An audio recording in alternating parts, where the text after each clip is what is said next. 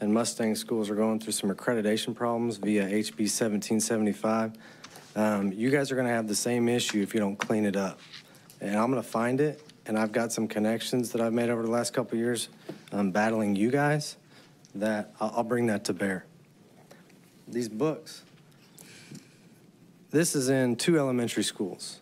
It feels good to be yourself, a book about gender identity. Sangre and Will Rogers teaches teaches the kids that the doctor is merely guessing whether it's a boy or a girl.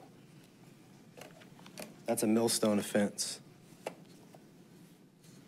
Explicit child rape, child molestation. Do these have academic value? You guys are going to have to answer that question. And, I, and and it shouldn't take a form. If I send an email to a man who's in charge of protecting the innocence of our children, and the response is fill out a form, I would consider that a millstone offense. There's a rape of a 10 year old girl, graphic, in this book. It's heartbreaking. Uh, by no means should there be um, a ban on books. Don't mistake what I'm saying for that. There ought to be academic books in the school libraries. And this problem, I, I never imagined it would be at my alma mater. I went from fourth grade up to Stillwater Public Schools. I'm, a, I'm an alum. And we have books after book after book after book. This at the junior high.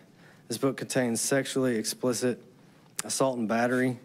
Um, um, I, I hesitate to read it. I, I, I don't feel comfortable reading it to adults. 13 year olds can check this book out. And you guys have bought it for him and provided it for him. And it needs to be corrected ASAP. Are you going to eat her?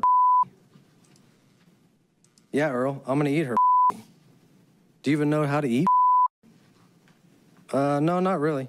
Papa Gaines never sat you down and said, son, one day you're going to have to eat. No, but he taught me how to eat a. Yep, I would teach you some technique, but it's a little complicated. Son, I don't have time for that. I got 20 over here I need to eat. Is that right? I'm on a deadline. It goes on and on and on and on and on and on. There, there, there are 79 in this book. 79. 51 shits, 11 dicks, 15 and 9 goddams, and a list goes on. And you guys need to fix it.